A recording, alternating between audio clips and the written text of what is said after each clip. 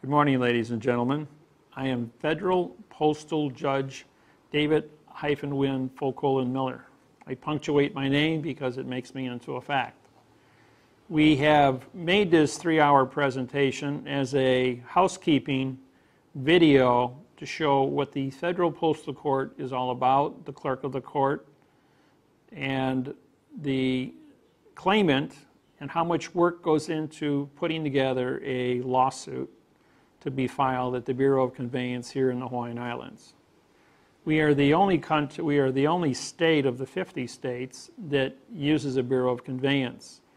On the mainland, you will be using just the clerk of the courts filing your documents, so the Bureau of Conveyance issues will not be uh, an issue at this point. The rest of this document is going to be about our postal, banking, and grammar, and why we, as federal postal judges, have jurisdiction, and how this came about, and the history of the Hawaiian Islands, as well as the history of how the federal postal judge, judgeships and federal postal court came about, so that the people of the world know that the Federal Postal Court is not an affiliation with the United States of America, the United States of America Corporation, or any other country. We are a organization that deals with the Unity States of our World Corporation is our official title. And what that means is we are not a citizen of a country. We are a we are two judges, Russell Jay Gould and David Wynn Miller, that are changing the, or correcting the grammar into a mathematical interface to show the people the tricks and the traps and the secrets of the courts and how documentations must be created, how constitutions have to be written, how trusts have to be written, to have a better understanding or a better claim on the contracts that you write. Thank you.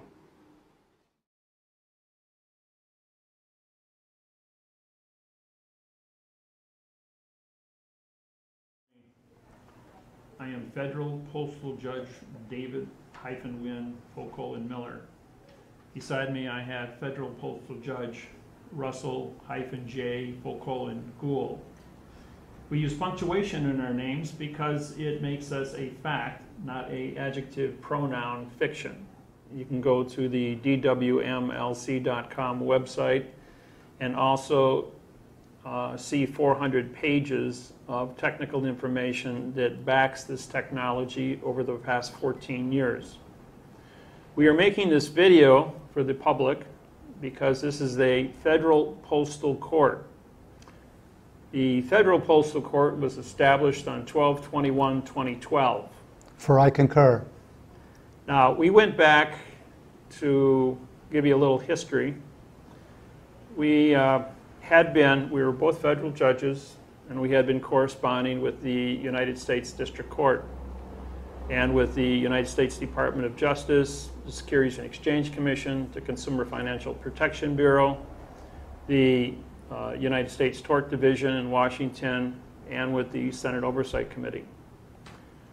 As a result of those actions, a, uh, we had filed a claim at the United States Department of Federal Claims. And as a result of that, we got a letter back as an invitation to come to Washington, D.C.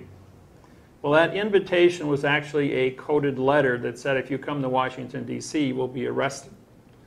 On the back of that Washington, D.C. letter was a stamp by Benjamin, an original July 4, 1775 seal of the Federal Postal Court. So we did, we started doing some research. And the research took us to the England Oversight Committee, which then made Benjamin Frank Franklin in, in 1772 the first federal postmaster of both Canada and the United States. That's before the United States was created. Three years later, On July 4th, 1775, Benjamin Franklin opened the Federal Postal Court, at which time the Revolutionary, Revolutionary War kicked off and war vacates contracts, so the Federal Postal Court closed. As a result of the chain of events that took place next, the United States uh, had to borrow money, 1.6 million francs from the French in Philadelphia, Pennsylvania, which was the capital of, of America at this point in history. They went ahead and they, the war took place from 1775 for seven years until 1782. 1782, the United States couldn't pay back the French the 2 million francs that they had borrowed and filed domestic bankruptcy in Philadelphia, Pennsylvania. That went on for an additional seven years until uh, September 17th, 1789. In 1789, the Constitution of the United States of America was drafted, which was a bankruptcy trust putting the United States of America into a 70 year international bankruptcy for $3 million. Now, the, the dollars were in the form of the uh, Bank of England had lent, had picked up the note through the Rothschild family. So that then turned the United States into a international bankruptcy corporation. The Constitution of the United States of America was written in an adverb, verb, adverb, adjective, pronoun, pronoun, adverb, verb, style of grammar. This is called parse. And the parse is what parts of words are, like the word international. IN means no, TER is terra, nation is people, AL is contract. So our, the English language made parse words and then it, excuse the expression, bastardized them. Benjamin Franklin writes the Declaration of Independence. The is an adverb modifying declaration, DE is no, Claire is speak, at is contract, ION is contract. Of is an adverb, now making uh, independence. In is no, D is no, pen is right, ans is contract. So he said, You will not write contract and you will not read contract. And then he wrote, We the people. We was a pronoun. The is an adverb, making people a verb. So he went ahead and he made the, the people of America into fictions. You can either be a pronoun nothing, which is a dead entity called nom de guerre or pseudium, or you could be a verb, which was a condition of an illusion fiction. So the government then went ahead because Benjamin Franklin was a French attorney working for the English crown as a secret agent to capture the United States of America. And when he wrote the United States of America, the is an adverb, making united to be an adjective of the pronoun states. The word of is an adverb connecting to the pronoun in front of it and modifying the dangling participle verb America. Now, the parse of America, A means no, M A R I is Latin for mercy, and C A is Latin for sheep. Now, how do you get to be America to be a verb? Well, an adverb modifies. Modification is change. Change is motion. Motion is action, and action is verb. So what we had now is a uh, an, an ad, adverb verb modification to create a fiction. All 50 states of the United States are written state of, and then they give them the name of the state or state of a compound like North Dakota, South Dakota, North Carolina, South Carolina. And in 1834, Congress passed a law that compound nouns must be hyphenated, which would have then turned North Dakota, South Dakota, North Carolina, South Carolina into verbs with a hyphen in the name. So they wanted to make sure that all 50 states had were con, uh, a condition of verb to go with we the people as a verb, to fit into the America verb. And this is a history of fiction from, from 1775 until current day. So we went ahead and in 1988, April 6, 1988, I broke, broke the mathematical interface on grammar. And I proved that all grammar all languages are a mathematical equation of algebra. And with that, I was able to rewrite the way grammar is used and create the website and the technology that is now published all over the world with over 5 billion people studying it. The function of a federal postal court was when we saw the seal and did our research on this, we went back to July 4th, 1775. And we filed our documents. We filed our oath of office. And we filed our charter. We went ahead and we ordered open the Federal Postal Court July 4th, 1775 under a Title 42, 1986 for knowledge of a fraud and the authorization to stop and correct it. We also filed a claim for the fraudulent conveyance of language against the English Oversight Committee that appointed Benjamin Franklin in the first place and vacated his position to be what he was because of the fraudulent conveyance of language. For I concur. Now, fraud is like perjury. I don't care what language you speak, I don't care what country you come from all people on this planet know what perjury is. It means you have knowledge of a fact, but you tell a lie to twist it. Now, the conversation I'm having with you right now on this video is also being said in a adverb verb condition of thinking. For I concur. The reason for that is in order for a teacher to communicate with a student in a language that they understand, we go ahead and we still communicate with you in your adverb verb language. However, when we write our documents, which you can read, they are all written with the correct mathematical procedure, both on the websites and all the documents that have been filed. Now, the documents that I have in front of me on this table are also on the DWMLC website, and they are up there for the people to read. They are also there to see this entire presentation in a written format so that you can understand what it looks like in a writing format. Because when you read quantum language, it will give you a headache. Why? Because you've been brainwashed to only see an adverb verb or adverb adjective pronoun condition of state. When you start reading prepositional phrases, it will then change the ability of your mind to comprehend things so that you will see both frontwards and backwards that grammar is correct when it's done in a mathematical program. No one has ever gone to war over a math problem in the history of mankind, but they've been killing each other over the adverb-verb communication skills of both the religions, the faiths, the political contracts that are written between governments, the political thinking of how governments function, and all the treaties that they write between each other. Now, we're out here today in Maui, Hawaii. And as the history of Hawaii was, has been published, and, but the history that you see in the books all over the world are not what actually took place out here. A unique thing was in, in 1789, a man, Captain Cook, shows up out here and he discovers what's called the Sandwich Islands. Well, for him to discover something, DIS means no of covery. He makes no covery of the Hawaiian Islands. That's called parse. His non-covery takes him back to England, and then they other people show up out here around 1800, first to bring out bishops and, re, and religious organizations to go ahead and give people faith, teach them the Bible, teach them how to read and write in an adverb-verb scenario.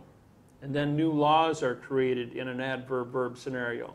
They be believe if an adverb-verb scenario is, is good enough for God, it's good enough for people and how to manage the people. But the Hawaiian people in their, in their own native language resisted being modified. There's a secret that Russell and I personally discovered, and we worked at for 8,000 hours that every word that starts with a vowel, A, E, I, O, and U, and is followed by two consonants, it means no contract. And if you have a word that starts with a vowel and is used as a single syllable, the word also means no contract.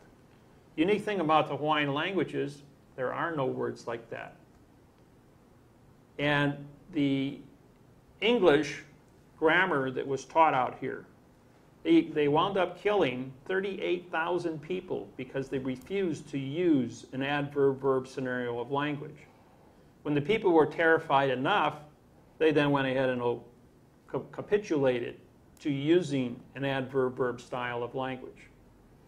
In 1848, King Kamehameha first made a, a proclamation that if you were dead or off the land for 20 years, the land would be free for settlement.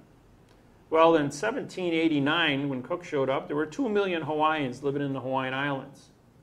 But because the white man brought a dozen different diseases out here pneumonia, smallpox, chickenpox, tuberculosis, herpes, a lot of other nasty diseases, mumps, measles. It reduced the population by 99%.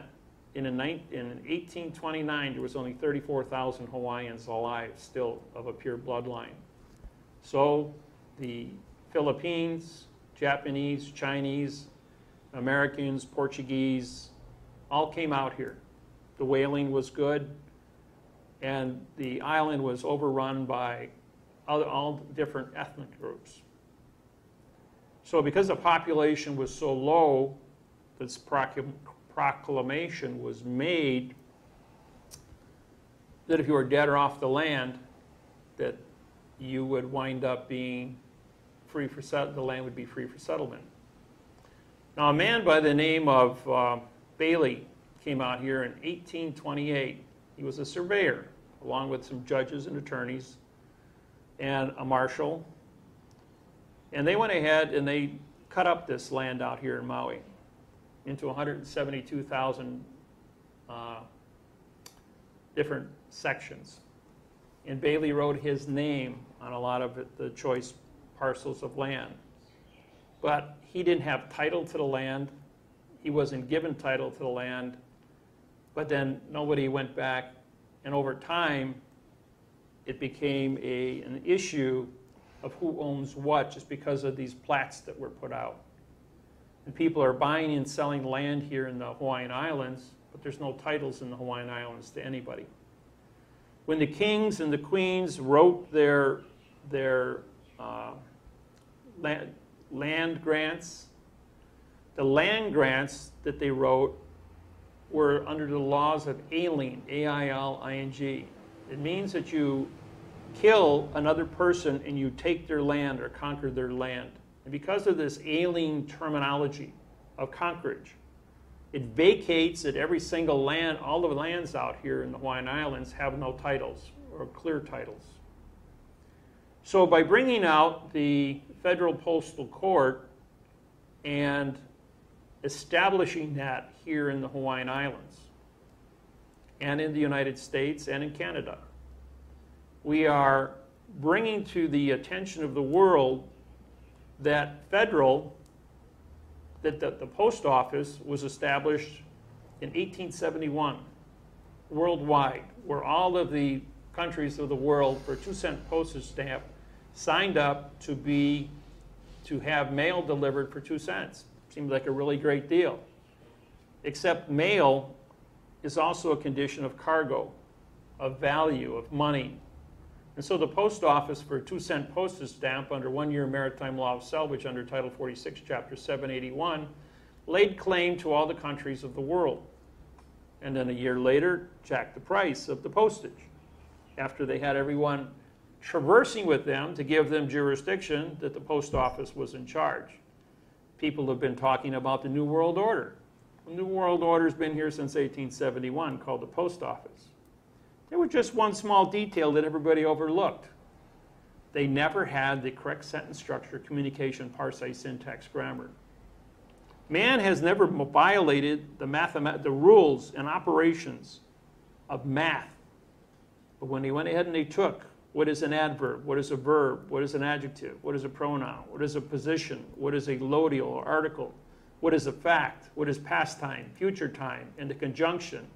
And they bastardized it and misrepresented the values of the parts of speech They went ahead and created a world that goes back 8,500 years of adverb, verb, fiction communications, violating how words come together, violating how words are formulated, violating the condition of mathematics.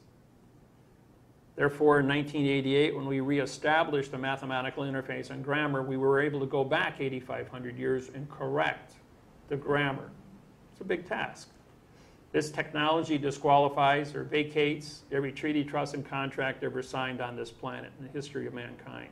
For I concur.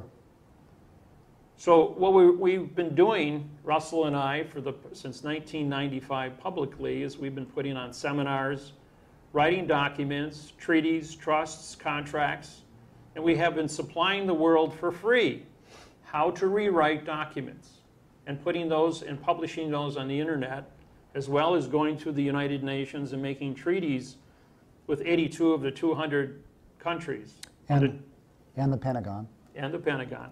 Yes. And on the 12th of August, 1999, Russell and I received sovereignty country status because the condition, we applied to the United Nations to be an independent country because the condition of quantum language in a world of 8 million fiction people's communication skills was so unique that the 200 members of the United Nations voted to have us have our own country.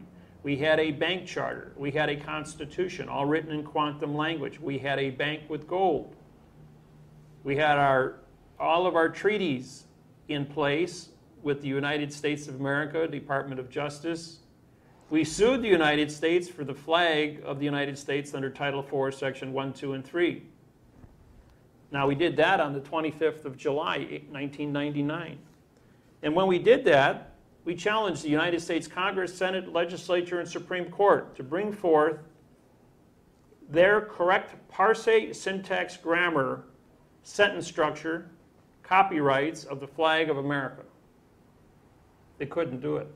They couldn't even produce an oath of office that was written in the correct parse, syntax, grammar. And on the 12th of August, 1999, the United Nations voted that both Russell and I were independent, sovereign individuals with a flag. We've captured the flag with the correct parse, syntax, grammar. We had our own bank. We had our own constitution. We had our own trust. We had treaties with other countries. We also uh, did some very unique things uh, dealing with uh, registering it and setting up our own global hyphen bureau of the weights and measures, which allowed, uh, uh, allowed us to establish our post roads. Post roads occur because the land was captured through the postal treaties that we had written a now time scenario for. Upon that, everybody has their ship's papers as they navigate themselves from point A to point B. But because how the world was moving to in their frantic state of war, we took it to other steps to register the program uh, through organizations such as NATO. Um, David and I are both joint muster hyphen masters uh, through the Secretary of the Navy's office, through the Pentagon, which we filed for prize master, prize commissioner for the capture and salvage of the Title IV 1 to 1.9 dimension flag. The technology has allowed us to sit in a world of fiction and claim our position of sovereignty through the establishment of correct protocols, taking things from a quanta, which is the, the overall picture we're showing you, to a least common denominator of a quantum, which is claiming everything from the magnetic flux that you see to the, the elements. We have our own periodic tables for our own measurements of, of melting points, uh, taking matter from, from, from solid to water to, or to, to gas. So we, we've articulated and given closure to the world in the banking system and in the military paradigm that is around us to the certification of correctness. Then the next thing that kind of puts the cheese and makes this all binding is the United Nations says, what country do you claim? What is your landmass that you claim? As the other 200 countries here have already claimed up all the land on planet Earth. He says, we claim the land of the courtroom floor during the time of correct parse, syntax, grammar, contract. What is a vessel? Paper is a vessel in a sea of space. What is a court? A court is a closed area. It contains a constitution. We have a stamp, and the stamp is a $1 stamp, is a whole number. Russell and I sign our, autograph our name across the stamp, making us postmasters to transport the vessel of the contract during the time of, of contest. We then endorse the top of the back of the document the same way you endorse the back of your checks when you're at the bank to give them equity. We also fingerprint, which is our notary. And then we go ahead and we put our, our autograph on the last page of the document to take jurisdiction for everything in front of it and above it, and we place our seals on the document with a crunch. It's a crunch seal which deforms the paper. And then we add our evidence, our forensic evidence that we are stopping and correcting. And what we do is we use numbering, we use a numbering system on the, on the document when we're correcting paper because to write the word adjective above the word red, there wouldn't be enough, enough space above the words to put all the, what is a adverb, what is a verb, what is an adjective, what is a pronoun. So we use one for an adverb, two for a verb, three for adjective, and four for pronoun. And we put that on the document. Now this causes an individual, once they realize this and understand the technology, they can read 300 words a second and understand what is on a document, how fraudulently it was conveyed. You know, most people say they read 100, 100, 125 words a minute because the words are creating pictures in their mind and they're trying to comprehend things. When we reduce this into a number code, an individual learns how to read the number codes. You can take documents like this here and two seconds identify the fact that they're a lie, that they're a fraud, that they've been modified. Now going back to 1999, after we, became, after we got our country established, we went ahead and we started publishing and putting up a website. And Russell and I worked on this about 100 hours a week each. We're still doing it today. It's been 14 years of, of uh, labor of love putting this together so the world has a path by which to follow a quantum, a new quantum procedure. Now we have there's estimated to be 3 billion websites on the internet, and there, are no competi- there is no competition for the quantumized website that we've placed up there because I have 80,000 hours of background and Russell's got about 45,000 hours of background in this program. We also have other individuals that have donate, have put in 20, 25, 30, and 40,000 hours of research, and they bring their technology to the tables. As you know, there are many facets to the world of communications. And so these are, are delegated out to these individuals so that they can study, use what we've already taught them, and then enhance on that and bring any new information back to the table that they may understand, to, to better solidify the technology. The United States Codes has over 4 billion laws that are written. We have only a few that we use. We have over 150 different laws that articulate false and misleading statements, fictitious conveyance of language, mail fraud, mail fraud, and deprivation of rights under coloring of the law. Now, when you put in perjury, when you take those five things and they open up to 150 other charges, you're talking about $100 million worth of fines, 1,200 years in prison. Well, that's kind of overkill to point at any individual saying, we're going to go ahead and charge you with all this, these, these damages. When we go ahead and we take a piece of paper like this, and we syntax putting numbers on it, this becomes the physical evidence. This isn't where we have to go out and, and look for, do you have a sore back? What is the opinion of how much damage is done to your car? Or how much opinion damage is done? This is physical mathematics on just the words on paper. And when you take words on paper and you bastardize them, and you create fraudulent conveyance of language and fictitious conveyance of grammar, it goes ahead and it gives us the physical evidence to go ahead and write a lawsuit and use and bond this to the document. Now, to see three forms of bombing, you can either stitch it.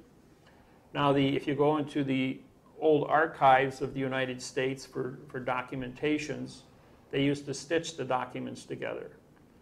Later, they, when sometimes they used rivets, brass rivets, and rivet paper together. A staple does not bond a document together. It's called maritime law of stapling because staples can be removed. But to permanently put the documents together, we use glue. And so we glue the documents together. When you glue documents together, you now have a bonded document. When you have a bonded document, you become an author. So when you testify about what it is you have bonded, you are now an authority. Now, when somebody says we have an expert witness, the word EXP, a vowel and two consonants, means you are a no contract individual and you're only going to render an opinion. So don't call yourself an expert. You're either a correct authority, is the correct terminology to use.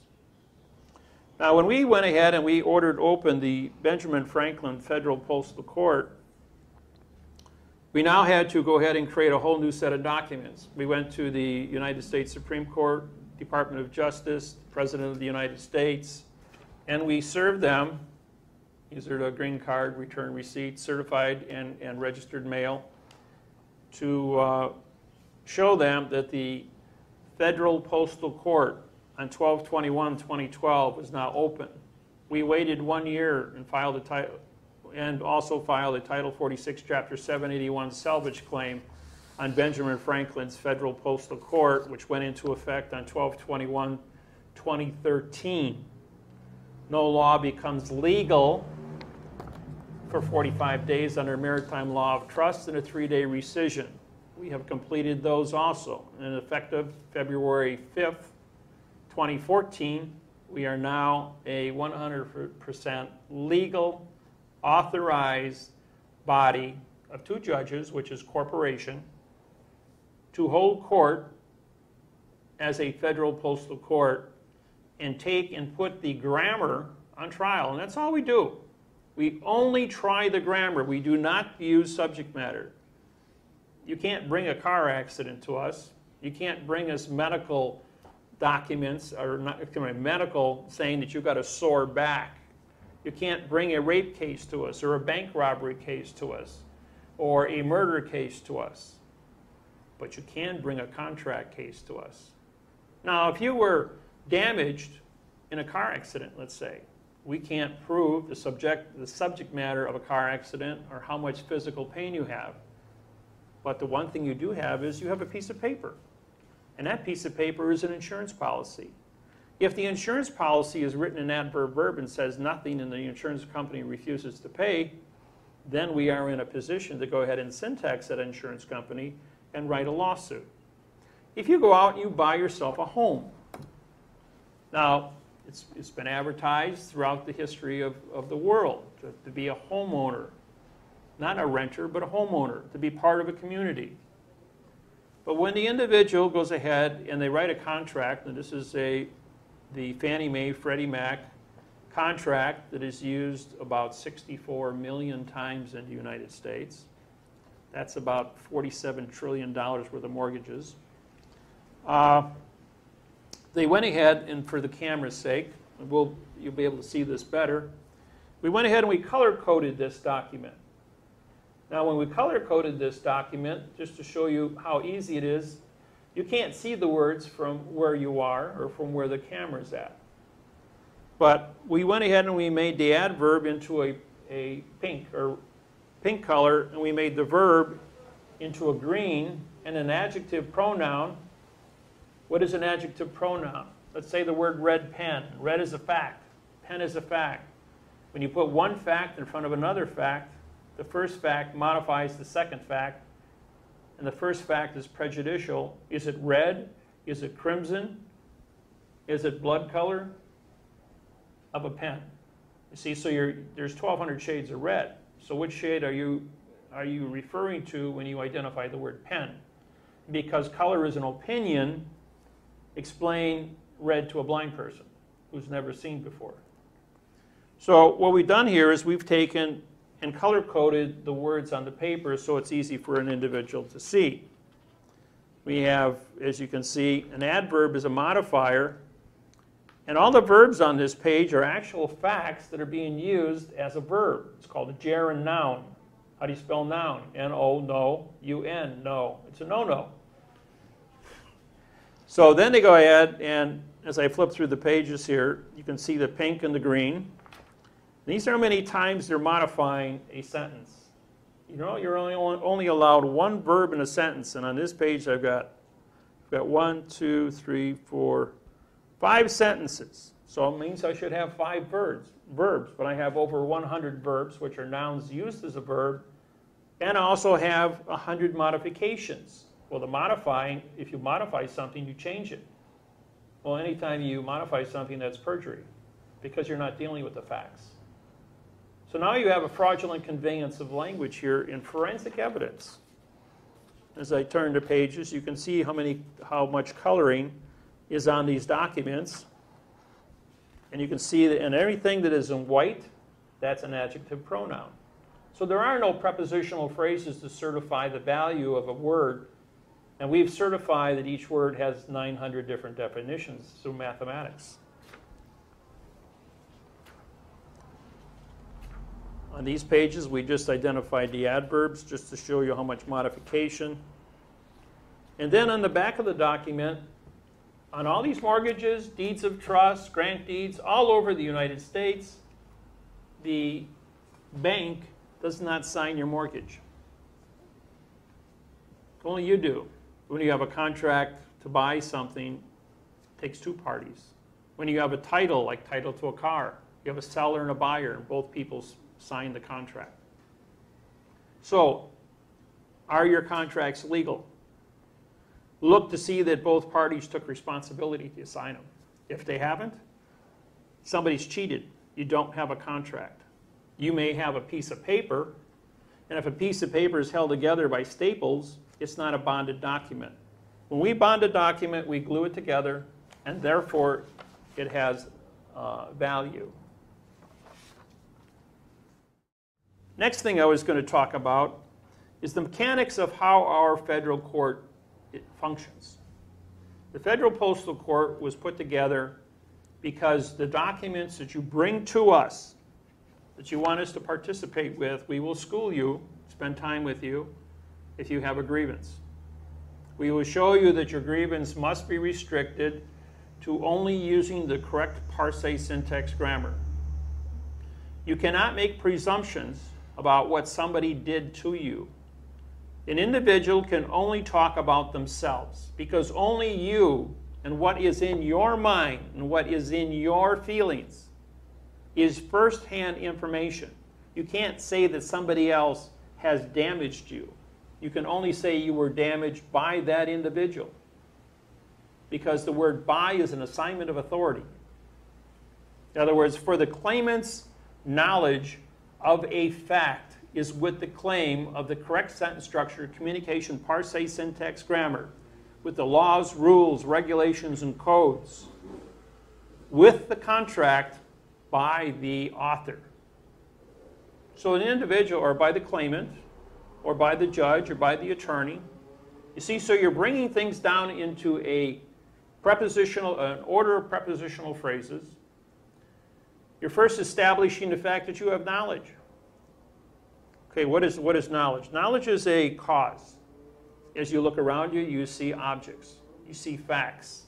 And your brain stores those, that's called a consequence. Just like when we feed information into a computer for later recovery. In order to recover anything from a consequence of the stored knowledge inside you, you have to do thinking. You have is, is singular, and are is plural, and those are the only two verbs in the entire English language. Once you establish the motion of first-hand information that is in your brain, you then go to a possessive, and that preposition is called with, with the claim. And then the next, and after you have a with the claim, you're going to have a cause. And that cause is going to be defining the terms so what, what are the claims? You're going to, you're going to find a, the, the, the terminology of that claim You're going to put words, so you're going to put a definition to it. Is what the correct sentence structure, communication, parse, syntax, grammar. Where are you going to use that? Well, you're going to use that on a contract. And who wrote that contract is the assignment that you then use the word by the author, by the claimant, by the vassalee. Now, the term vassalee was established by us 14 years ago. We are not defendants. We are not respondents. Re means no, spond means to talk, and A-N-T, ants, A-N-C-E, means contract. No spoken contract. So when anybody in the court system of fiction addresses you as a respondent, they're, they're, not, they're not communicating with you. They're telling you to shut up and just take it. If they call you a defendant, DE means no, and ANT is contract.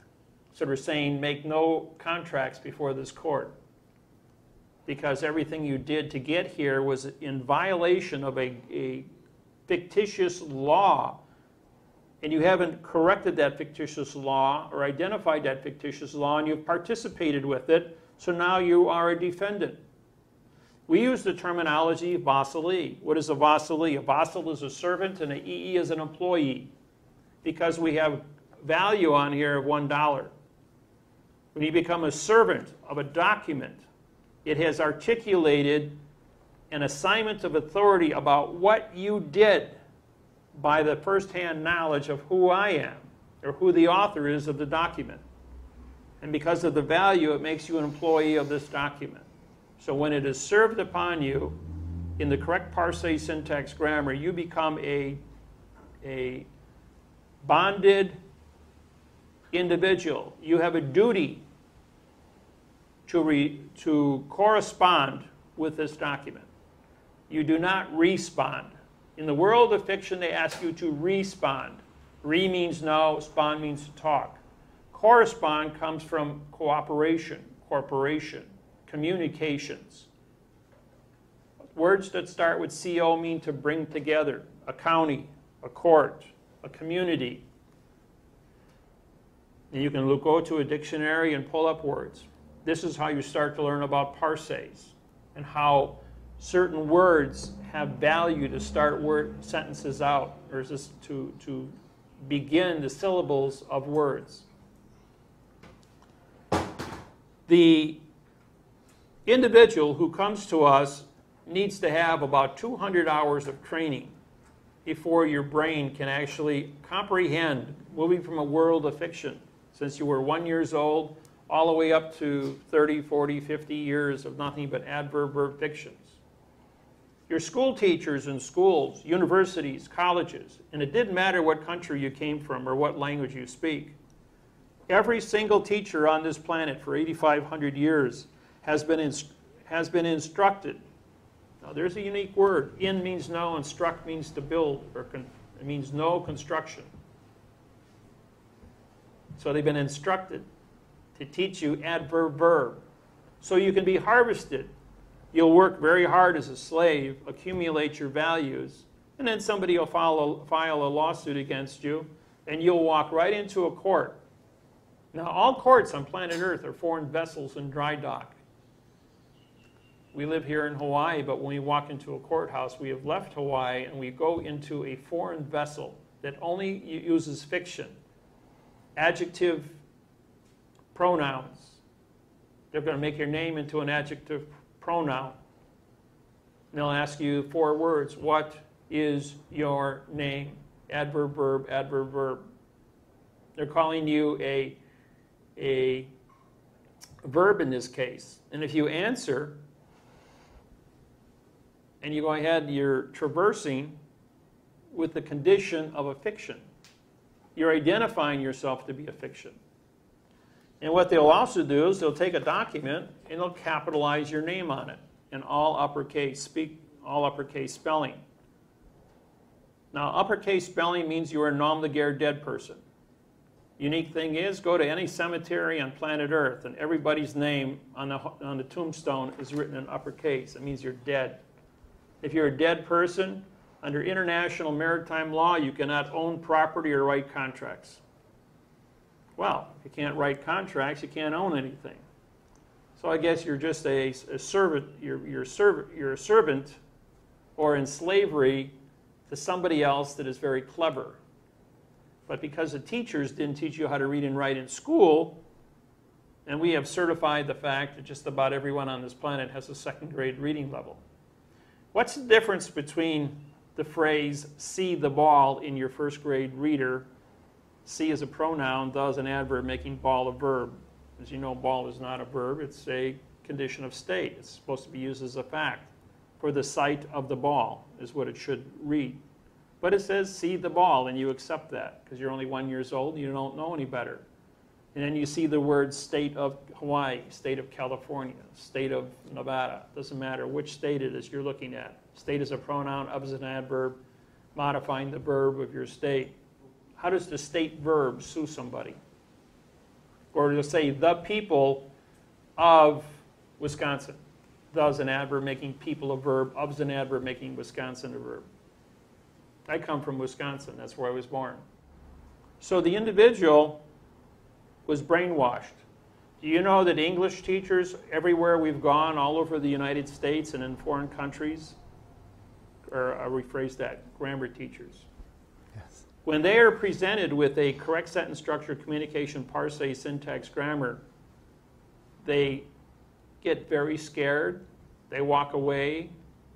If the student produces the correct parse, syntax, grammar in front of them, they suspend them from school, send them home. Don't allow them to interface with the other students because they would contaminate the world of fiction. Because the fiction has to protect the lies that have been told for the past 8,500 years Or more. or more. We went ahead and uh, I used to go to Australia and I used to go to Canada. And I went to Canada and I did some syntaxing on the Canadian grammar. And Queen Elizabeth ordered my visa pulled. So I syntaxed the Magna Carta for the British Crown. It was sold at Christie's of London two weeks later, showing that it was written in adverb verb. In 1215, as a historical document with no value, but the Magna Carta was the cornerstone of the English Empire. It was a cornerstone of all the courts worldwide and the Bar Association. And now it's just a historical document of fiction, adverb verb. Then they went ahead and they took away my ability to go to New Zealand and Australia because I was teaching the correct parse syntax grammar in Maori language as well as in the origine language. So they didn't want anybody uh, learning how to become correct in those locations. So they kicked me out of the country, took away my, my ability and my visa. So I then syntaxed the United Kingdom's constitution. I syntaxed the Irish constitution, and the Irish government said, well, now that we know that it's fraud, would you write us a new one? 12 hours later, I supplied them with a new constitution. Their parliament voted on it. Two days later, in August of 2012, they were awarded their independence after 660 years. Queen Elizabeth was on BBC two days later, and I witnessed it myself, saying that all United Kingdom constitutions were null and void. The Zulus of South Africa listened to a radio show I had done, 150,000 of them, and asked me to write a new constitution for South Africa and recover the Zulu lands of South Africa because those were stolen through false and misleading information. On August 29, 2010, in Auckland, New Zealand, I made a statement that there has never been the correct sentence structure, communication, parse, syntax, grammar, laws, rules, regulations, or codes for the Universal Postal Union, Bern, Switzerland, under a New World Order. United States Postal Service, which had had since 19, uh, from the year 2000, Yeah, 2000. 2000, a correct parse syntax international bank treaty written by Russell and I, 115 pages long with all the certifications and overtones. Then became, called up Bern, Switzerland and said, we'd like to see all the numbered accounts, 47,000 numbered accounts in Bern, Switzerland. Because you have a fictitiously conveyed contract to keep money of the United States citizens. 47,000 numbered accounts were turned over to the United States Treasury, along with $4 trillion in assets. And the United States of America, because they had a correct, the post office had a correct international treaty, now became the new, the new Universal Postal Union here in Washington, D.C. And as a result of that, they asked the 47,000 people that had numbered accounts in Switzerland, would you like to come get your money? Just explain to us how it got offshore and how you made it. Nobody showed up. So they got to keep the money under maritime law of salvage after one year and put $4 trillion into the United States Treasury. The power of words, the power of the parse syntax grammar, it's very important. And when we go to court, when we walk into a state court, a city court, a county court, a municipal court, a district court, a federal court, court of appeals, United States Supreme Court, doesn't matter what court system we walk into in this country. When you present the correct sentence structure, communication, parse, syntax, grammar, you get a document like this from Judge Mulloway here in the Hawaiian Islands, suspending my ability to file grievances in the court. And this is a suspension written in adverb, verb, and we syntaxed it. I then prosecuted to the Department of Justice and President of the United States a quo warranto complaint for false and misleading statements, fictitious conveyance of grammar, deprivation of rights under coloring of law. I bonded it together and I sent it to President Obama, who appointed Judge Mulloway to be a federal, to be a district judge here in the Hawaiian Islands. Shortly after he received this, a special federal judge was assigned to deal with me specifically as a federal postal judge in the Hawaiian Islands. That federal judge does not sit on a bench. He's just there for one reason, to keep an eye on me as a federal postal judge in the Hawaiian Islands. Now, a unique thing going back here with the Hawaiians is that the 22nd of October, 1871, we're give you a little history of the Hawaiian Islands. King Kamehameha V goes ahead and signs a bankruptcy trust with England, with Bern, Switzerland, Universal Postal Union. And they go ahead and they transport all the gold, silver, platinum off the, off the Hawaiian Islands and give, it, give the Hawaiian Islands paper money. King Kamehameha V, he receives a lot of paper money to go out and buy the things he wants.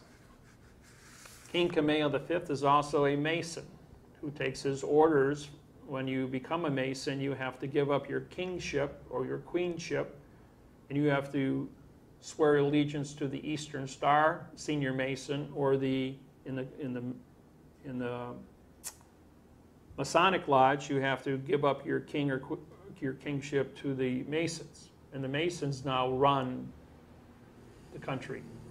Now, the senior Mason out here was the Postmaster General. So the Postmaster General in 1871 then became, he was the puppet master of King Kamehameha V. Now they had to wait one year under Maritime Law of Salvage, Title 46, Chapter 781, until the 22nd October 1872. And then there was a 45-day trust law that went into effect. Well, once the 45-day trust law expired, it was December 6, 1872, and King Kamehameha V was assassinated by poison eh, killing the last reigning monarchy of the Hawaiian Islands. Now, because he had 1.8 million acres of land under his name, this had to go into the, what was now known to be the, the bishop's trust. And the trust now, they were holding the land in trust as there was no titles because the last reigning monarch had died. So the Masons I went into uh, the Iolani Palace Archive Center along with a man named Hightower, who's a friend of mine and a full-blooded Hawaiian out here, to research anything that happened between 1869 and 1875. The director of the uh, Archive Center said there are no records from 1869 to 1875. We had a fire and they were all destroyed. I'm going, well, there's always multiple records. There's treaties with other countries. Well, then you have to go to all those other countries to get copies of the records, but we don't have any here. She says, there's, a, there's the, the catalog of all the documents in the building. So we went over to the catalog and we looked at 1872, 1873, and we found only one 3 by 5 card. On that 3 by 5 card, there was a, a, VIN, uh, a number, a microfiche number, which then took us to a microfiche film. We pulled up the Hawaii, uh, the Honolulu Star newspaper. And because Hightower wanted to look at what the correct, if they were using the Hawaiian flag in its correct dimensions. We were just looking for a flag, that was all. But on the bottom of the document, on the bottom of this one-page document was the obituary with the Masonic eye and the Masonic uh, angle. So because it was in masonry, and I'm a mason, I looked at that document and I said, well, they're ordering the Portuguese, the French, the German, and the English to Honolulu, Hawaii, to Lodge Number One. Now, this is a January 8, 1893 document. So, eight, January 8th, it takes three days for the steamer to go out to Kona and Hilo and three days to come back. That brings us up to January 14. All the Masons meet at Lodge Number One. Lodge Number One is also the central post office for the Hawaiian Islands. Also, the, the Supreme Court of the Hawaiian Islands. Also, the Immigrations and Customs Building for the Hawaiian Islands. So now we have all five branches of government neatly packed into the Masonic Lodge, and all the Masons get together and they cut a, they write a contract to take over the Hawaiian Islands. But the contract does not become legal for three days under the Rescissions Act, which better known as the Lemon Law. So they had to wait three days, and it went into effect on January 17, 1872. But now there's a death moratorium established in 1848 for 20 years. So to make sure, because the king is now dead, King Kamehameha is dead, they got to wait 20 years. On January 17, 1893, the military troops leave the ship and they surround the Iolani Palace. And Queen Iolani, who is a Eastern Star, takes orders from the Postmaster General across the street and surrenders the island. The excuse was to avoid bloodshed. Point is, she wasn't a queen, she was merely an Eastern Star in disguise and surrendered to Hawaiian Islands. Everybody said, that's illegal. You can't take over our island. So the people went ahead and they protested. They went into the city courts, the state courts, the district courts. But who took over the island? It was the post office who controls the military. They were supposed to go into the federal postal court, but the federal postal court was closed in 1775, and it hadn't been reopened yet. The federal postal court is where the blood Hawaiian people have to go to make grievances for the invasion. However, the Hawaiian nation, the Hawaiian government, is in bankruptcy October 22nd, 1871. So, how does the bankrupt corporation called the United States of America, 1860, invade a bankrupt corporation called the Hawaiian Islands? Bankrupt corporations are not allowed to interfere with other bankrupt corporations. So this is totally illegal under international law. Their excuse was we have to secure the coal, C O A L. Coal is fuel for steam powered warships. Whoever controls the steam powered warship controls the entire Pacific Rim. United States, Western states had to be protected by a military, by a navy. And the navy sailing between California, Oregon, and Washington, and uh, the Hawaiian Islands is about 2,800 miles. The next stop is 5,000 miles away, Tonga Tonga. And it's too far for a steamer to, to, to, to travel. So everyone in the Pacific Ocean going from east to west had to stop in Hawaii to get coal fuel. And that's what this was all about, controlling the coal, controlling the fuel, the energy to cross the, cross the world. When oil came in, people could run the entire distance. Nuclear power came in, they could dri- drive, ships could go around the world now with no problem. So the Hawaiian Islands now became irrelevant. Well, if you take the 22nd of October, 1871, being an individual that knows the timelines of how maritime works, and we add 70 years to that, we come up to October 22nd, 1941, plus 45 day trust law, gives us December 7th, 1941, the bombing of Pearl Harbor.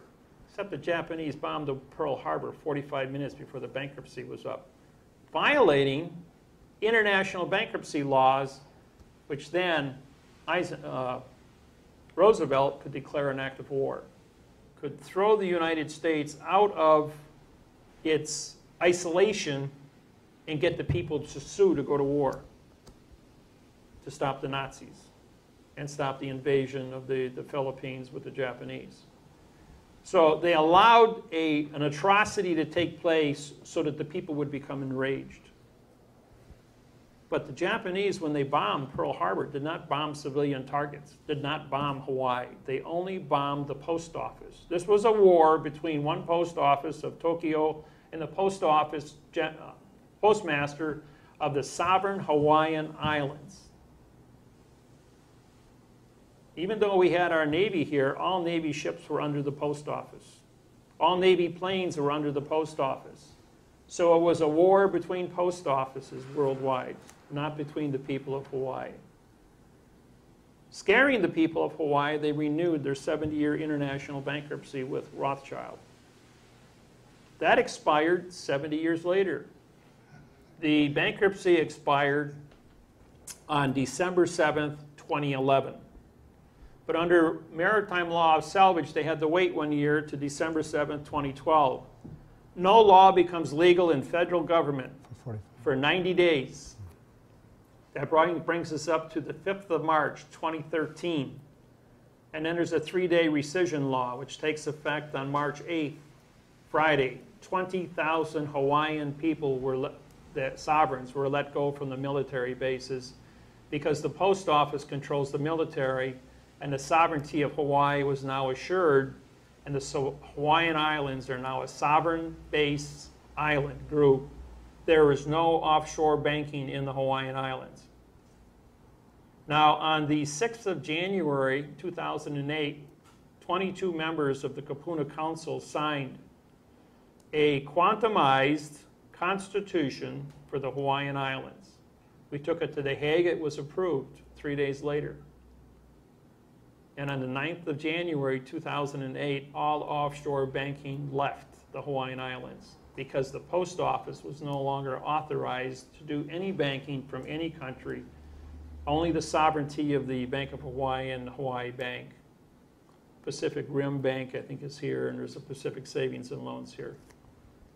But there is no offshore banking with any country. Now, that shows that the post office controls the money, post office controls the banking, and that the Hawaiian Islands is a sovereign group of individuals. Now, the government is first becoming aware of this. This has all been published up on my website. And there's been more and more activity here on the island. A unique thing took place on January, uh, on March 8th, 2013. The 1888 post office, which was the federal postal court here in, on Maui, was razed in 72 hours without approval from any government agency. A $1.6 million building. Somebody was very afraid and authorized the demolition of the federal post office and the federal postal court on this island. And I live here on this island. So therefore, I was going to use that building as our federal postal court. And they didn't want that happening. Because then the world of fiction courts could be prosecuted. In 2002, I prosecuted 22 state and district judges here in the Hawaiian Islands, 12 attorneys and two clerks. Russell, back in 2002, was my bailiff on this. Postmaster General. my bailiff is also my postmaster. And those were upheld by the United States Supreme Court and the World Court at The Hague. And now, most of those attorneys became judges. Some of the judges became Supreme Court judges. Some of the Supreme Court judges left and became Office of Hawaiian Affairs officers. The warrants are still open. All I need is the President of the United States to endorse them. So, that's where we sit on that subject. The point is that 33 of the 92 judges on this island and I'll have warrants for them. Because they use false and misleading statements, fictitious conveyance of grammar, and deprivation of rights under coloring of the law. Now, in California and in Washington, state of Washington, in 2008, I took the Washington Mutual. Friend of mine came from Washington, that had a mortgage with Washington Mutual, and says they're foreclosing my home. I looked at the contract. That's the one I just showed you here. And I syntaxed it. I identified all the words on the document, 4,700 words, and they were all fraudulently conveyed. When that document was given to Washington Mutual, to stop the foreclosure. On Friday, they filed bankruptcy and their stock went from $60 a share to 10 cents on Monday because they had lied to 2 million people.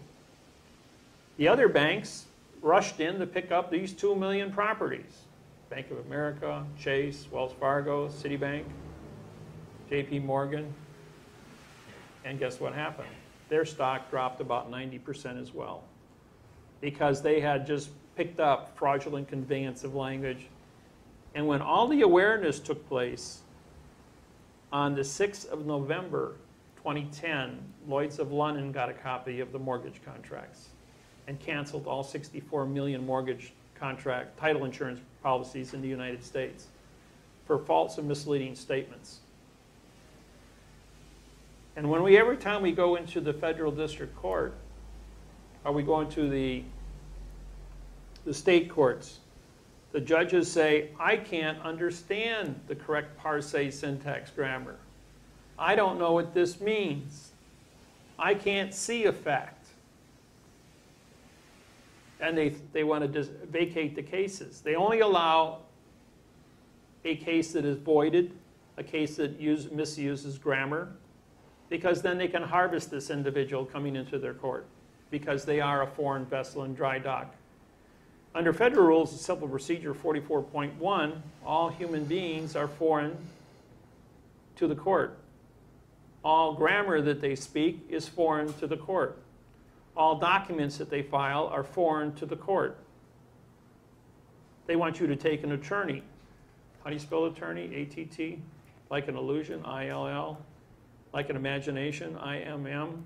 Like art? A-R-T? And they want you to use a vowel in two consonant words. They want you to use negative words. You can never prove the negative condition of a state. Our federal court only deals with the correct parse syntax grammar, only deals with the mathematics of how things are written. So don't bring a case to us, an adverb verb, because we will not hear it. We will teach you how to be correct. And by learning how to become correct in your grammar, you can put the correct mathematical words, the actual meaning of those words on paper so that we can understand what is being said, so that the fact for the fact is for the fact. Now I'm going to turn this over to Russell J. Gould here right now and let him explain postage and, uh, and banking. Now let's get a little bit into the technicalities of David was holding up the uh, fee for freight. Well, what exactly does that mean? Well, the fee for freight is consideration that is paid to move the vessel from point A to point B. Right? And so there's a value of postage when we place our autograph across the, across the postage, it makes us a postmaster letter carrier for the freight forwarding and allowing who we want to come in contract with that vessel. If somebody, we have a treaty with another nation or another citizen, or a contract with another citizen, and the citizen is in now, time, and space grammar, and he's using quantum communication skills to post his roads. One of the things that we have to look at is to get his ship's papers in order. His ship's papers are the paperwork that gives specifics of your nationality, specifics of who you are as a being on this planet, has description of height, weight, a lot of the forensics that we need as we engage with the public safety officers in the field or out on the streets. Because of that criteria, we have what's called claims of the life. Claims of the life are, an, are a grammar articulation of who you are. When we place the postage on the contract and we take it into the foreign vessel in dry dock, before we get into kind of the functions of that, I want to give you an overview of what we have set up so you can understand why your vessel is sitting on our post road, because that's very important. As David was explaining earlier and giving closure, the United States was involved in many bankruptcies. And as the bankruptcies tranched or, or rolled over and rolled over, uh, they came to a very exciting time in our life back in 1999, back in 2000. And uh, David and I were studying the bankruptcy laws and, and looking at the contracts and putting this, this program together. And we realized that they were going to have to vacate the trusteeship under Title 39, Section 101, subsection B. They were going to have to vacate the presidency of the United States because he was the elected trustee of the bankruptcy. So thus, they had to kick in the 2000 election and vacate the time frame. David and my, myself, particularly seeing it, I immediately uh, got in front of that 93 days because nothing becomes law for 90 days, three day rescission. And so I was in front of it while they physically left the land of contract, the District of, or the District of Columbia, which is a pronoun adverb verb, they physically had to leave the contracting rights of the trusteeship and vacate the Constitution of the United States, which is a bankruptcy document, which David had discussed earlier. So during that time frame, I filed in a contract as a postal hyphen inspector and the U.S. Post Office, since they didn't have a postal postmaster general at the time, David and I spent uh, three hours on the phone with uh, the postmaster general of the United States. The gentleman at the time, his name was William Henderson. After we explained to him the rules of his job, he retired within 72 hours because he realized he didn't have authorization. But my contract was sitting in his office. So instead of refusing the contract, they flipped it over placed a label on the contract, on the, on the what's called the NALM. The NALM is a passenger aboard a vessel, and put postmaster hyphen general and mailed it back to me. Of course, I autographed across the label because labels are postage stamps, and it made me the postmaster general to give to allow freight to come aboard our, our, our post roads where we were taking our courts, where we were taking our contracts, where we were going with our banking, and we took it to the mechanics on a global level and gave it to the world through the Universal Postal Union in Bern, Switzerland, which David and myself went to on June 18th of 2003 and sat down with those gentlemen in Bern, Switzerland. It was a very fun day for us because we, we, we realized who was in charge, how the grammar was working, and we were really at peace with ourselves because we realized the world could have a chance to join with that for certifications through their clearinghouses from nation to nation, country to country. So it was a very, very pleasant time. Felt it was very gratifying to see the, the type of knowledge that was being explained that day at the table when David and I were there, and the, how re- reciprocating back it was. It was there was no animosity. It was they were a little confused because we had beat them to the punch, and so because we what that meant is we we, we filed it and they didn't know what was happening.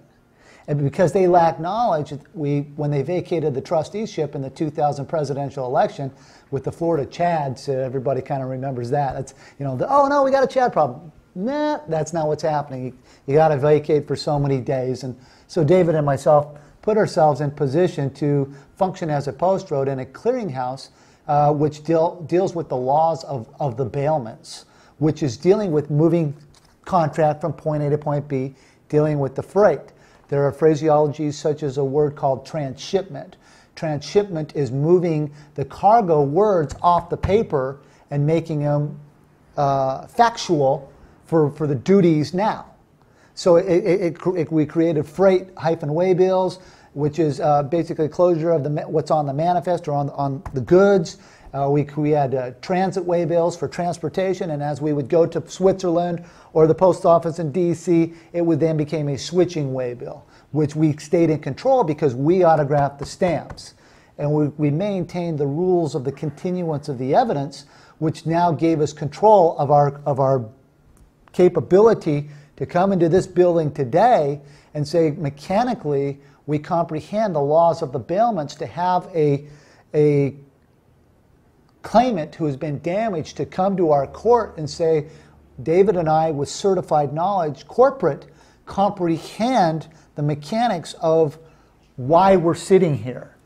And we've taken it to such levels as giving closures through the uh, Global Bureau of the Weights and Measures and David and I have also disqualified the International Maritime Organization out of the United Kingdom, out of London, uh, London, England. And uh, their contracts were all fraudulent, and it deals with uh, coming in and out of foreign vessels and dry docks, dealing with wharfs and, and, and docking procedures and harbor masters. And there's a lot of mechanics that, that we have put into place uh, dealing with uh, our contracts as fee for freight as our mooring lines M O O R I N G. So now we have established, and those mooring lines, we established fundamental contract timelines. These are the contract timelines that David was explaining in the bankruptcies, but then we applied them to how we were moving our contracts and our claims, such as our sovereign positions at the United Nations, which David and I sat down specifically with the uh, chief postal administrator, Robert Gray, at One UN Plaza in April of 2003. He confessed to me, and David was there, that he did, the United Nations does not have jurisdiction of post roads. They do not have jurisdictions of militaries because I had filed for uh, commander in chief of NATO and the different military organizations around the world because I, I did not want the citizens to be harmed by this martial law. And I realized that the, the value of grammar and the function of not going to war over math problems, which is the duties for breaking the bills of the lading, the breaking bulk of the words for the, for the compliance of the contract was, was at a very um, humble realm to be in. And so we had to make sure that it, it didn't get used for bad. And so that's why we, we've presented our, our situation uh, to the Pentagon uh, to, and to NATO and to you know uh, the Russians and to different. I can't really get into all the specifics of it. the citizens can feel at peace that when they join our our situation, that more, no martial law entity is going to thwart their their, secu- their community, the security within their community. We have taken the necessary steps to educate those at the top end so that when citizens come in or nations come in to join with us, that we control the shipping lanes through uh, correct communication, parse, syntax, grammar, through the laws of the bailments and the, and, and the, and the, the functions that occur there in, in the dynamics of, of global, the global banking construct. Uh, we have articulated and give, given to the world our banking charters. Our banking charters we can write in and out of every language in the world and we lose no deviation in our sentence structures. Granted, some communications do not use prepositional phrases. So in those specific instances, we use the prepositional phrase of that country's or nation's grammar style to and we write it in their grammar and then we correlate it to whatever nation's doing business with that with that specific country. Right. What that meant is that if a country does not have or does not use prepositional phrases in their language to maintain the mathematical interface, we go ahead and we keep the English prepositional phrases intact, but we trans, transmit the word, just like we'll say uh, uh, for the water in the glass. Now, they don't have for the or in the, they'll just say water glass or glass, glass water. Well, they'll call it water glass. And we'll go ahead and leave the English prepositional phrase in there, but we, we will use their terminology or their words to both identify the word water and the word glass, because all 5,000 languages on this planet have a word for water. because it's, it's, a, it's a fundamental. So is glass is a fundamental. So where fundamentals are in place, this way the mathematical interface can always be guaranteed to be mathematically correct when we're translating between one communications source and another communication source. Go ahead. Okay. So back to the post roads. Once we realized uh, the dynamics of what we had created, David and I realized that it was fundamentally sound to give it to the world. And we spent months and months at the United Nations meeting with the, your, the ambassadors of your specific countries, if you had an ambassadorship there. Uh, we met with the Postal Administration as, as well as a lot of uh, people that were uh, uneducated in uh, correct communication, parse, syntax, grammar. Um, we then presented the, uh, the contracts, of course, to the World Banking System, uh, the IMF, the World Bank. We've alerted all stock markets in the world. We have a, a function, a clearinghouse, to create up our own title system, our own wealth systems. Uh, we have our own global monetary system up and function, and it's a global monetary system. We have five stock markets around the world that we can take our clearinghouses and safeguard people's values. We do not trespass with fiction. What that means is, like David was explaining with the lawsuits, we don't allow fiction grammar into our banking system. All banking contracts and quantum banking have to have my certification on it on this planet, as well as David's witnessing. We work as a team corporate, and there's not going to be any division there. So those that try to divide, it will be a, it's, it, well, number one, you don't have authorization. And number two, it's, it's, I'm a young man, 40 years old. I have different functions in banking on this planet, different platforms, different styles. Because of the different banking contracts that we, I have been privy to uh, through certain situations, uh, the bankers that are doing things are doing it wrong. You're quite frankly uneducated in the movement of monies on this planet. Please get a hold of us to safeguard your peoples, safeguard the equity construct of your peoples, the peoples of your nations. Please get a hold of us for the, the, um, the, the, the, taxing, the, which is all false and mis, under false and misleading statements. We have a consumptions tax. We must do away with this glorified babysitter system that is creeping upon all of us at a tremendous level. The glorified baby system are, is the adverb verb world who tries to force their lie upon you and say that if you don't believe in our lie, then, then you can't sit in our, in, our, in our babysitting jails. And so we don't need babysitters as citizens of the world. We need to become accountable for what we do. And being accountable for what we do allows the, prep, the preposition. We preposition the facts so we can only look at the condition of the mind, the condition of the heart, on what was being articulated for the performance of the contract. Uh, as far as freight way bills and, and all the mechanics there, do you need me to go through all that? Or what do you want me to do as far as that goes for our court? Well, you can go ahead and educate the world. I mean, this video is going to go up on the internet. Okay. And the world is going to see it. The world is going to translate it. Okay. Uh, Well- so we'll give them as much information as we have time for. Okay, okay. Well, as David was explaining earlier, uh, David and I spent time rewriting the postal laws, which the United States Postal Service used our authorization to come in and harvest the citizens around the world in Switzerland because Switzerland was using false and misleading statements. They were an adjective, adjective pronoun. Their mechanics for, uh, for the uh, freight way bills and, and, and, and the fundamentals that occur for registering corporations for posting their roads were all done under false, false and misleading pretenses, and they did not give the countries that were coming in communication with them, they did not give them uh, three-day rescission that they were going to be using false and misleading statements. Thus, the United States Post Office used our technology, and in compliance with Title 18, Section 1699, had proof of service for the transportation of the cargoes. I specifically wrote that treaty for them in October 4th of 2002. Uh, David and I were on the contract together. It was a corporate movement. I spent uh, a year and a half on those contracts, uh, just making sure that the guidelines for the movement and the transshipment of cargoes, postage, vessels, contracts had a construct where we could articulate values, articulate grammar, and make sure that there was accountability and honor amongst countries and amongst postal systems. Uh, the U.S. Post Office, every time that David and I go to meet with them, they are very afraid. Uh, we just caught the United States Postal Service vacating their trusteeship for chairman of the board of governors for the Federal Postal Service.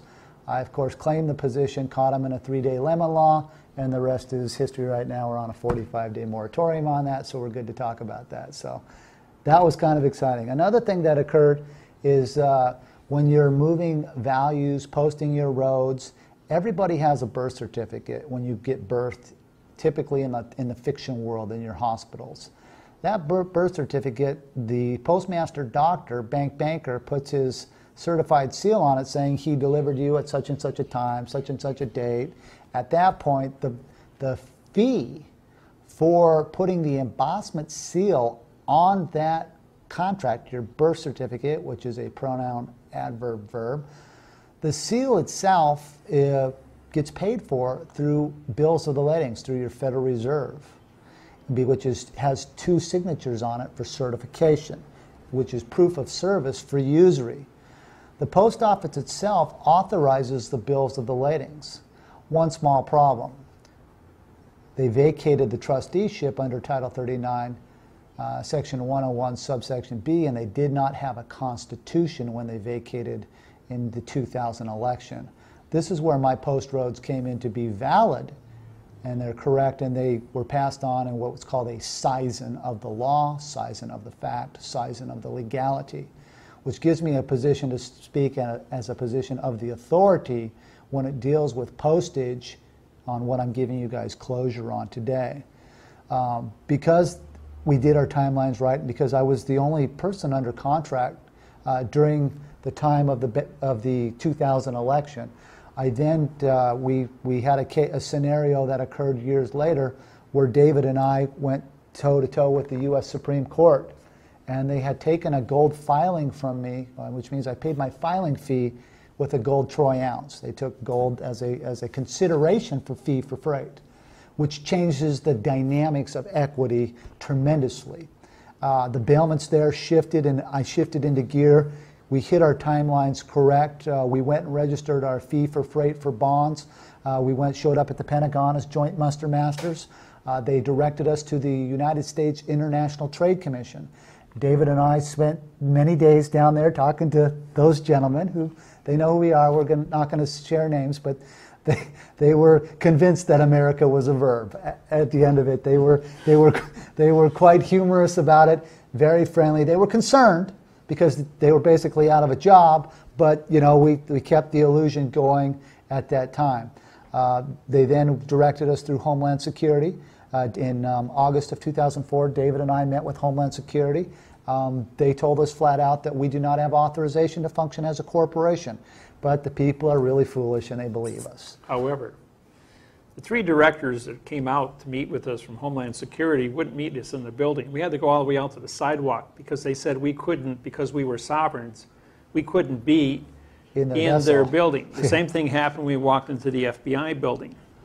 We were in there for an hour, 15 minutes with 12 directors sitting behind a glass, one of those mirrored glass windows, doing a, watching a one hour and 15 minute interview when they realized I was the federal judge that prosecutes judges from Hawaii, and I immediately had to be removed from the building because I was a sovereign and couldn't be in the building. Land of fiction.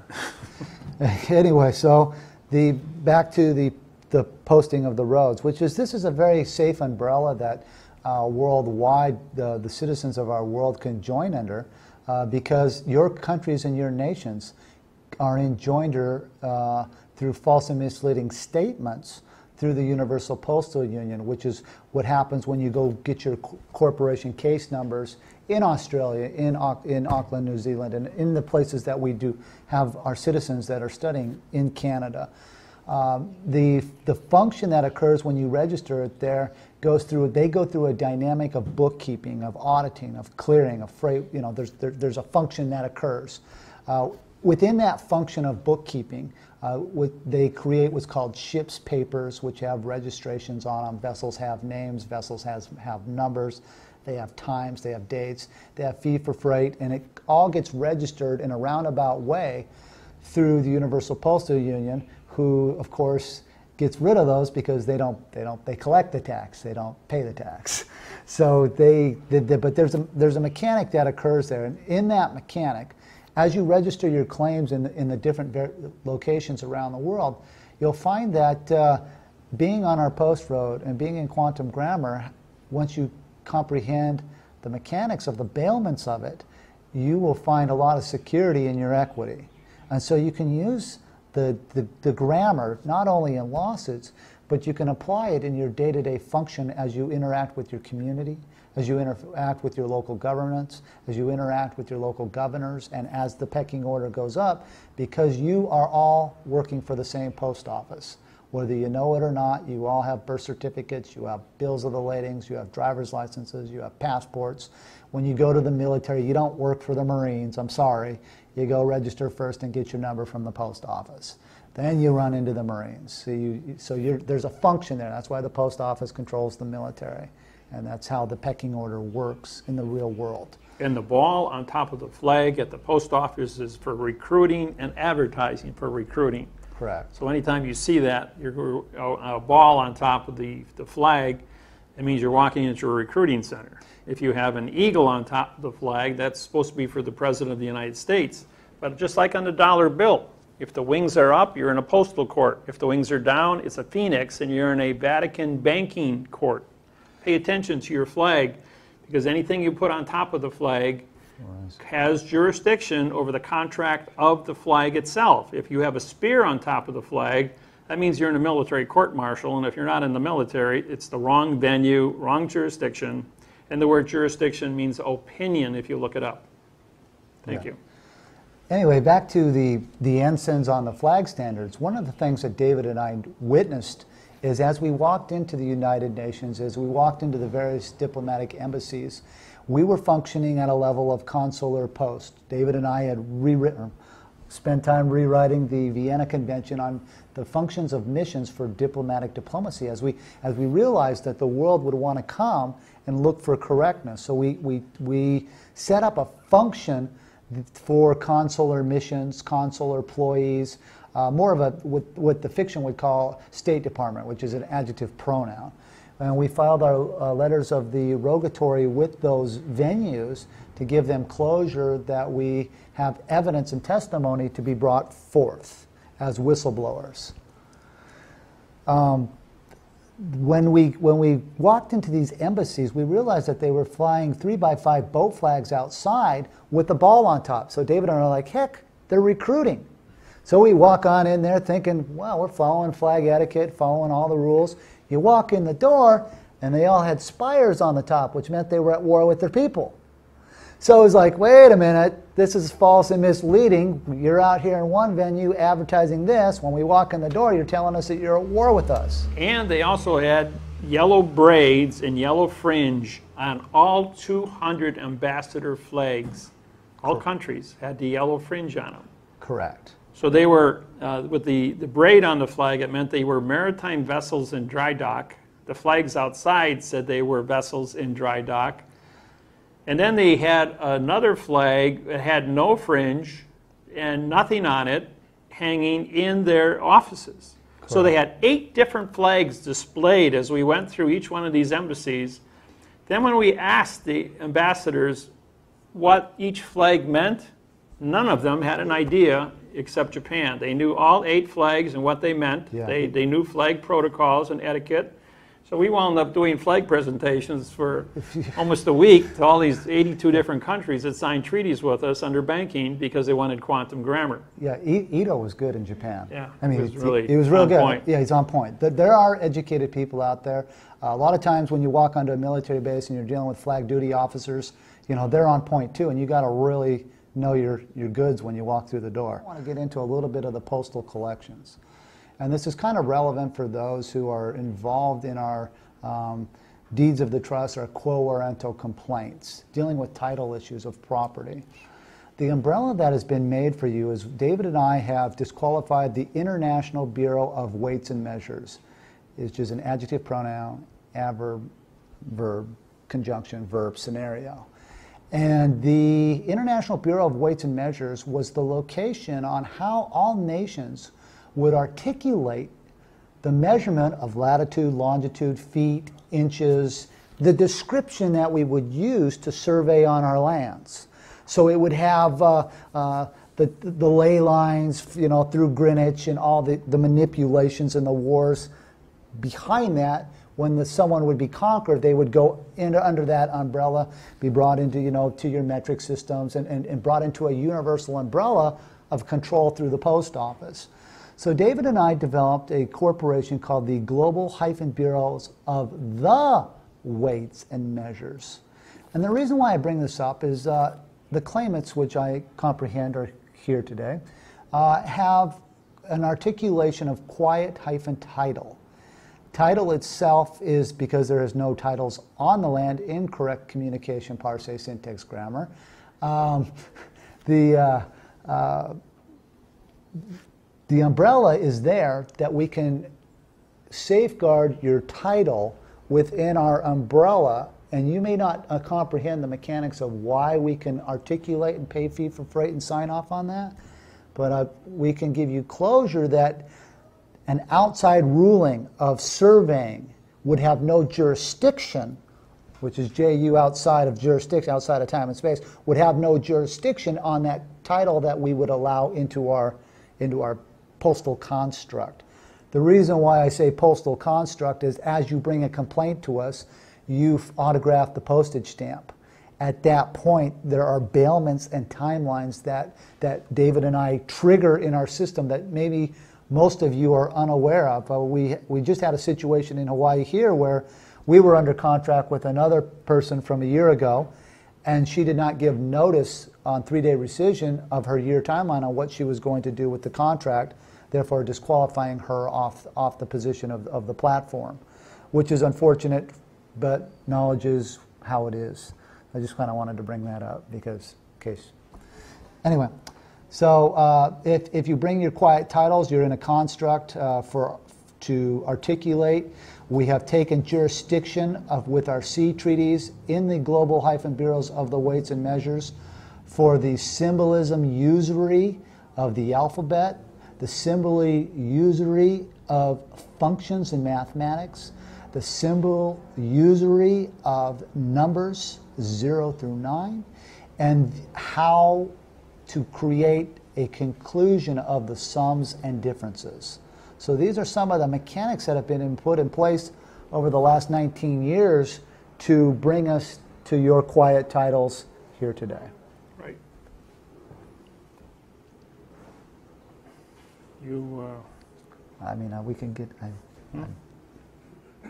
I suggest that you do a conclusive statement right now, we'll take a break. oh, no problem. Uh, if, if anyone has any questions about any nations out there, any citizens on uh, the mechanics of postal me mechanics and postal methods and where I learned, I'm getting, hey, where did you learn all this?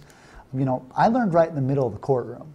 Um, I went toe to toe for a long, long time and took my, my beatings in the middle of the courtroom, uh, was used as a piece of cargo by, you know, hundreds of judges who, you know, really taught me well. And uh, those that hate me, eh? and those that, that, that taught Respect me you. and they, they honor me, thank you. Because uh, I've, I've worked very hard, and, and that's where I learned. You know, people ask, where did you learn all this? Well, for me, it's, it's been a 19 year journey from sitting right in the middle of the courtroom, and I'm standing there by myself because I have to stand on my own. And I'm totally confident doing that anywhere in the world. And uh, that's one thing I will I thank David is that David would always support me, but he would never go with me to, to, to, to so I would learn my own value and I would cherish it and I would honor it and I would be able to give it to you uh, in a way that you wouldn't have to go through the same the same circumstances and the tricks and traps that I went through uh, because I was my own worst enemy by not knowing. And so as I learned and the functions became more relevant, uh, the humility and some of the, the conditions, it, uh, that's where I learned my postal me- mechanics. okay, we're going to break for lunch.